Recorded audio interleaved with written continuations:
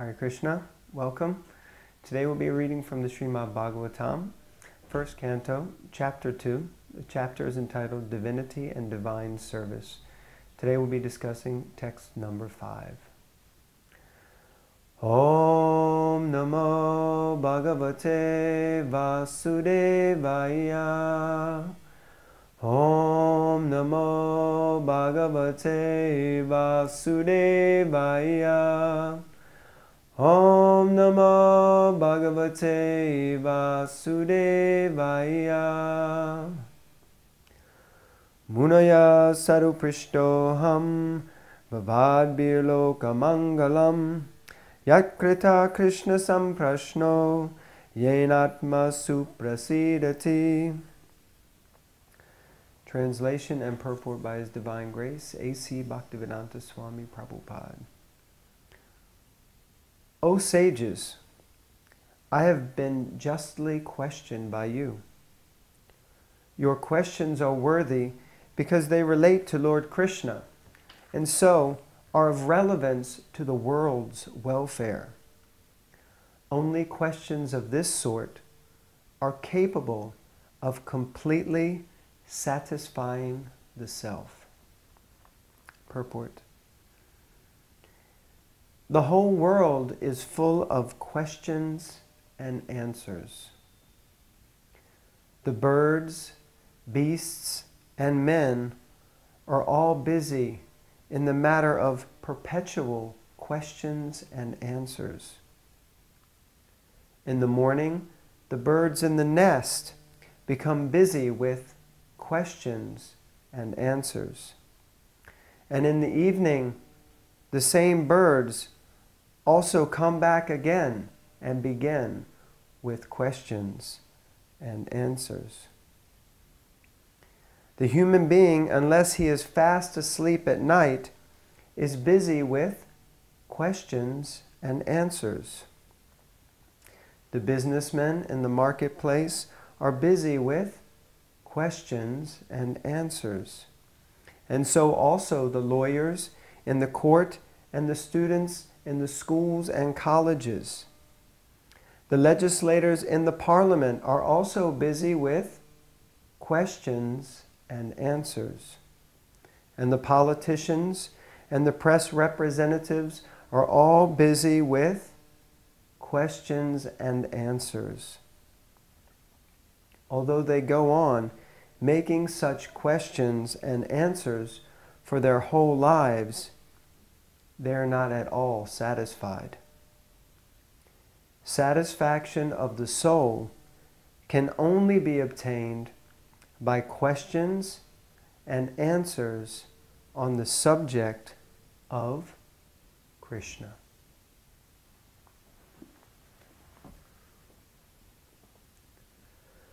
ॐ ज्ञानतिमिरन्दस्य ज्ञानञ्जनशलाकाय चक्षुरं येन तस्मै श्रीगुरुवे नमः श्रीचैतन्यमनोभीष्टं स्थापितं येन भूतले स्वयं रूपकदामायं ददाति स्वापदान्तिकं वन्देऽहं श्रीगुरून् श्रीयुतपरकमलं श्रीगुरून् वैष्णवंश्च श्रीरूपं साग्रजातं सहगना रघुनाथन्वितं तं सजीवं साद्वैतं सावधूतं परिजनासहितं कृष्णचैतन्यदेवं श्रीराधाकृष्णपदं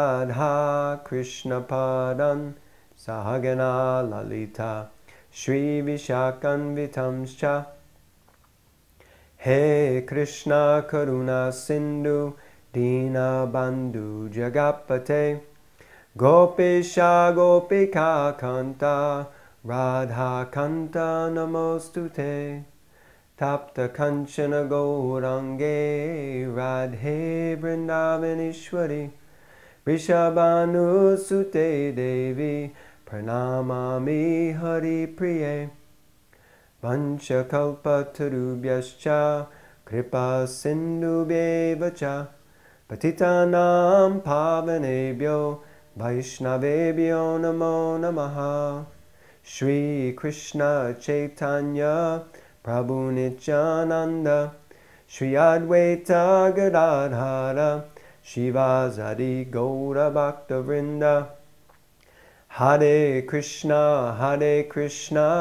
Krishna Krishna Hare Hare Hare Rama Hare Rama Rama Rama Hare Hare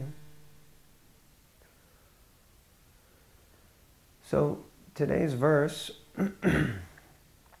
is about questions and answers. Questions are a way of guiding us. In fact, our whole life from the beginning is simply a quest. Um, as Srila Prabhupada mentions in the purport, uh, from the time a child is young and able to speak, immediately the questions begin. Immediately we're looking for something, immediately there is a quest, means uh, a movement or a search to a destination to find something that will please uh, or satisfy us, uh, give us solace. Uh, questions means moving from ignorance, and answers means finding some enlightenment or some solution. Questions means problems. Uh, answers means solutions. So life is riddled with uh, a constant flow of difficulties, uh, challenges, problems uh, for which we must develop and cultivate questions and hope and pray or seek out uh, that person who can give us answers and solutions to those problems. What are the primary problems for everyone uh, in this material world?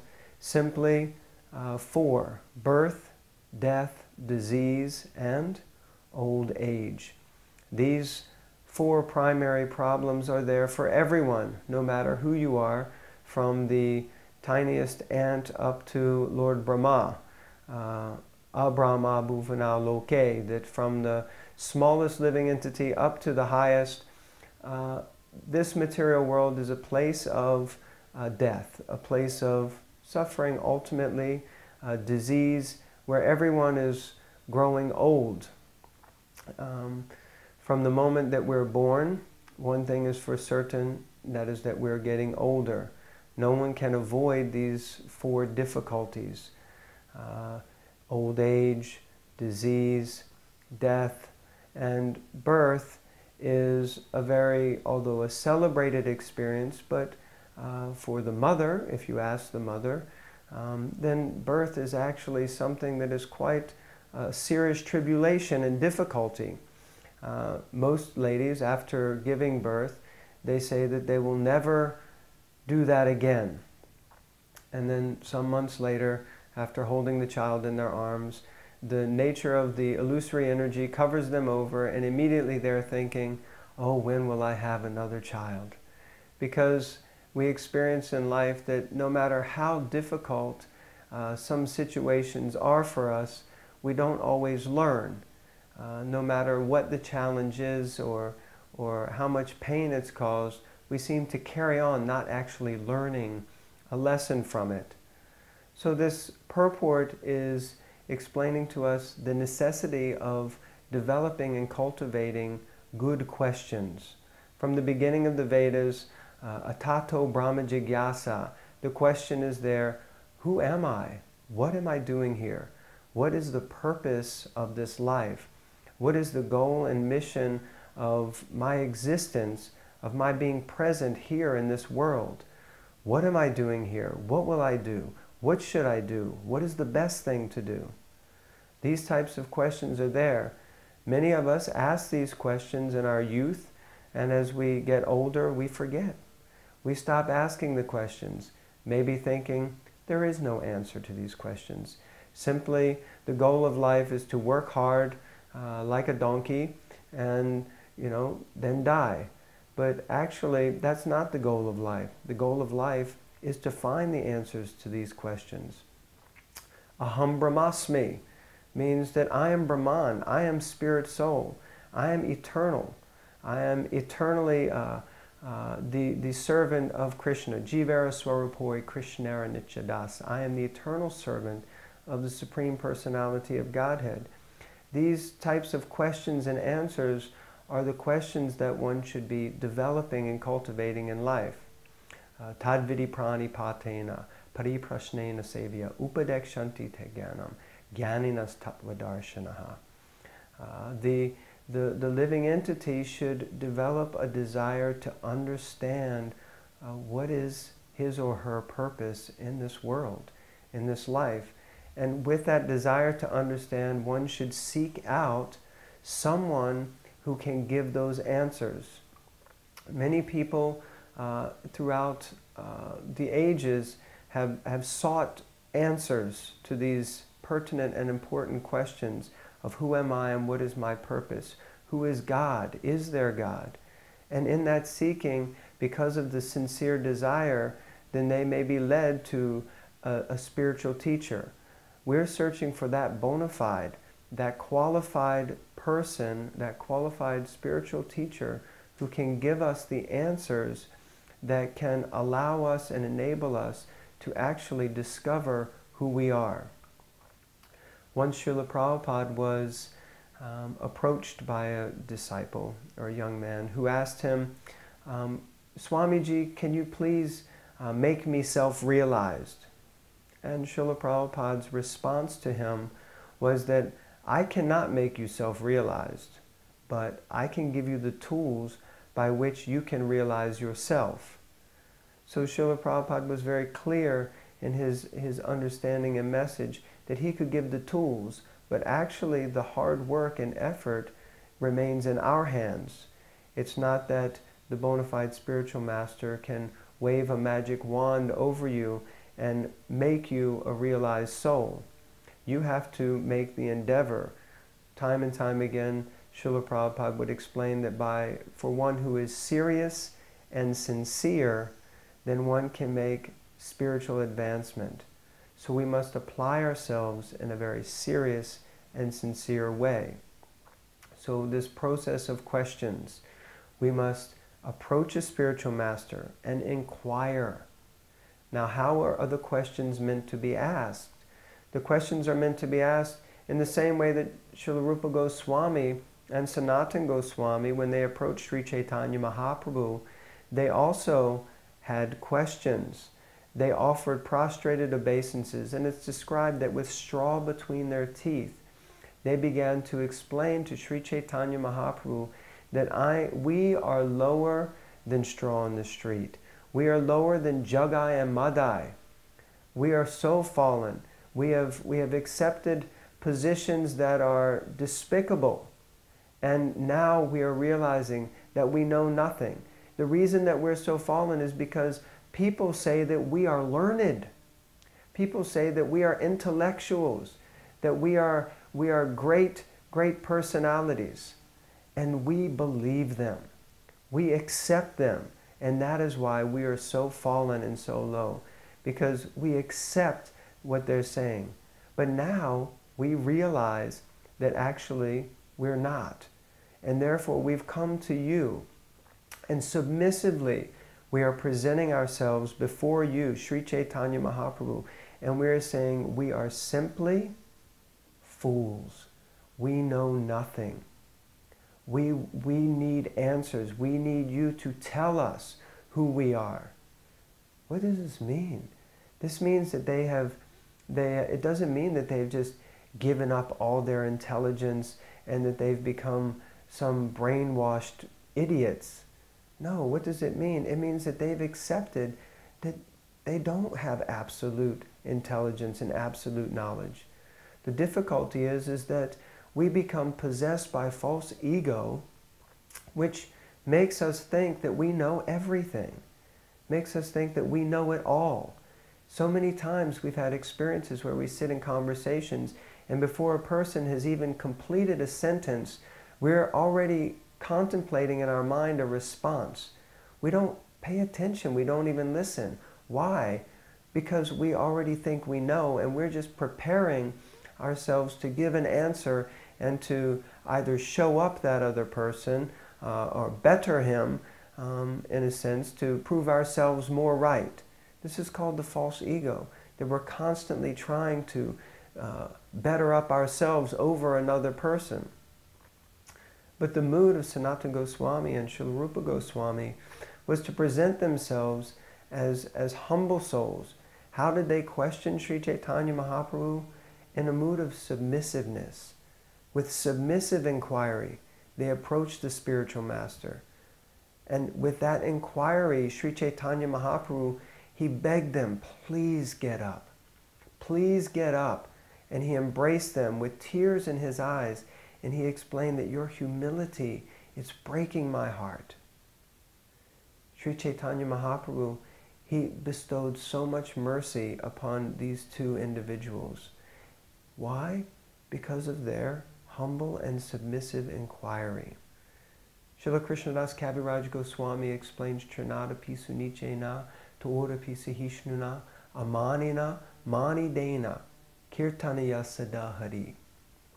That one can chant the holy names of the Lord constantly but one must develop four qualifications. What are these qualifications? The qualifications of humility. One should be more humble than the straw in the street. One has to become tolerant, more tolerant than a tree.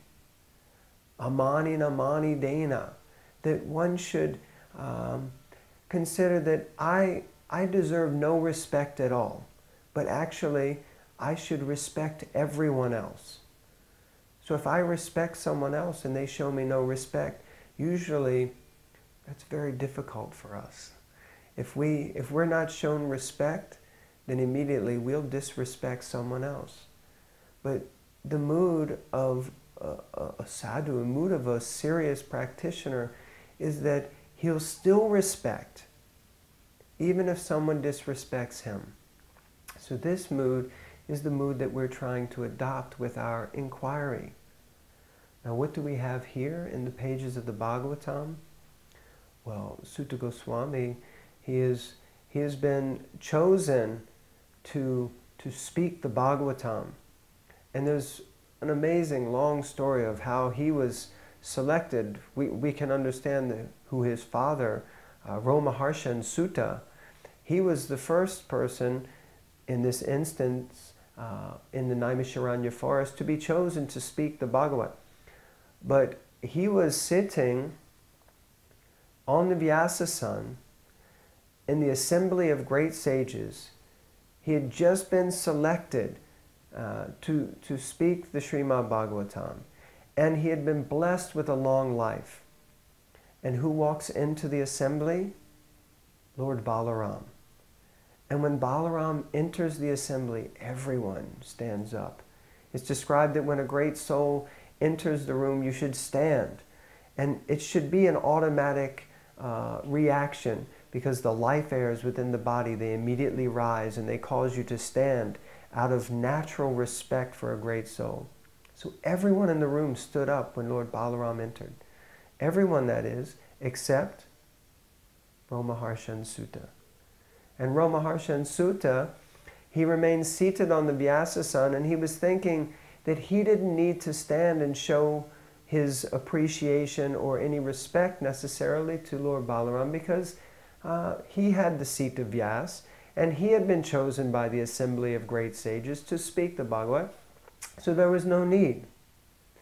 Well, Lord Balaram immediately recognized something within him, some frailty in his, uh, his learning and understanding. And Lord Balaram approached him and he, he spoke to him some very pertinent and important words of instruction.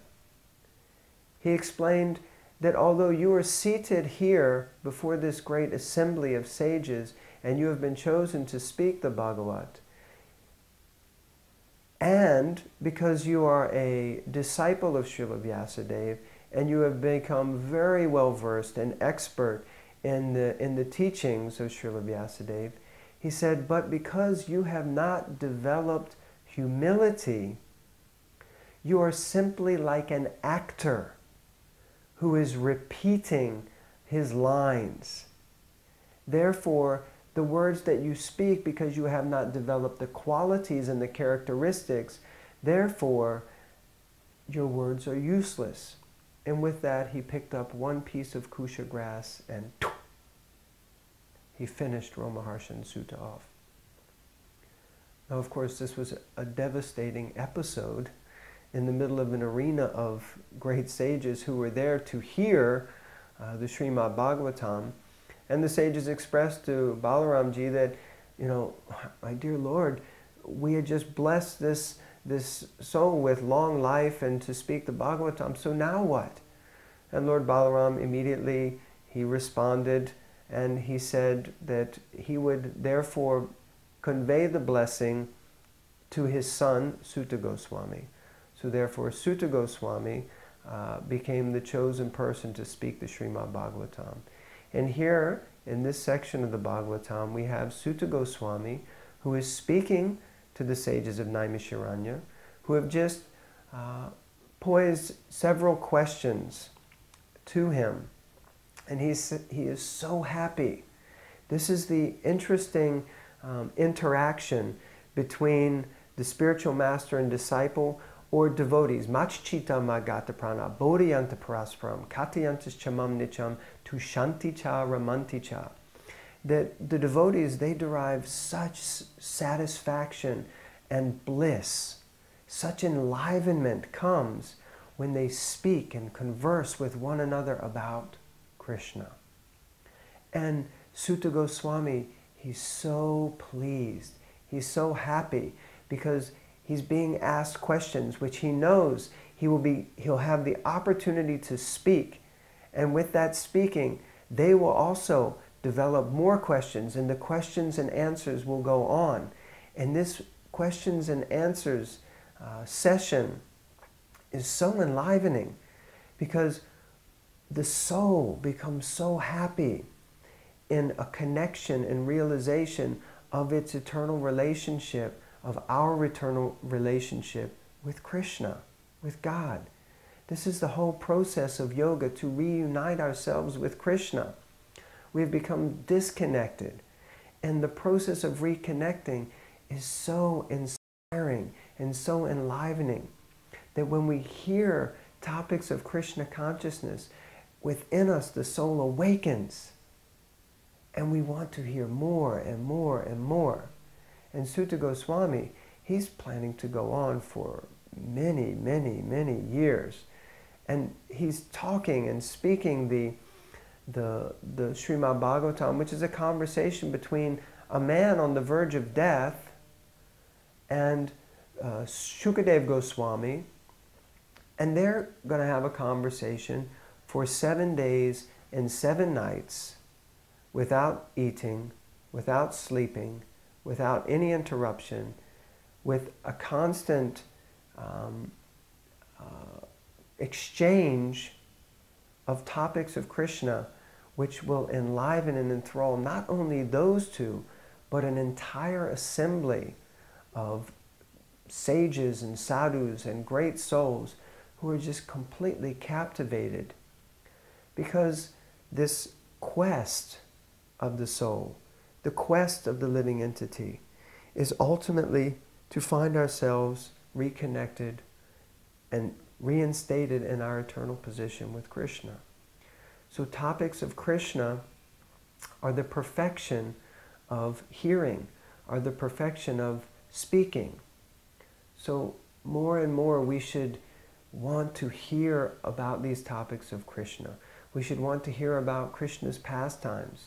And in the next the next verse, the first questions of the sages will be answered, uh, and uh, Suta Goswami uh, will deliver such uh, a brilliant answer to this question. So I would like to encourage all of you to please keep coming back again and again and again to hear these topics. Make time for it in your busy lives.